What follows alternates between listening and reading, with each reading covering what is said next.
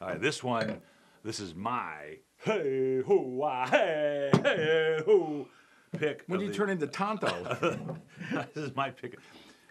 Have you been to Church and State yet downtown? yeah, I was Okay. there a million years ago. With George Skorka, uh, who no longer is there, but he was a somm there. Oh, yeah. And we went there for uh, dinner on, on Valentine's Day, which was not easy to get a table. And he kept bringing us wines. And then he goes, "Here is my piece de resistance. resistance. This is the one that you're just gonna not just blow your mind." And he poured this, and I freaked over it. I, I said, love it. "I go, I want it. How can I get it in the Wine of the Month Club?" So he made it happen. Hmm.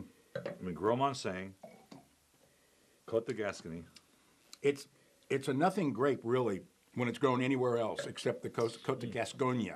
And they what they do with this grape is absolutely mind-boggling. It's like they also use another lesser grape called Colombard.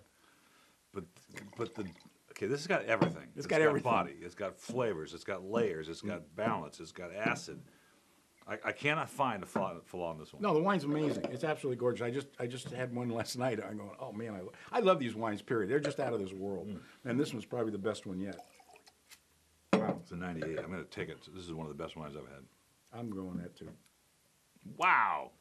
Okay. Touchdown, folks. Big. Twelve ninety nine reorder price. That's insane for that. Last wine. time, Yes. hello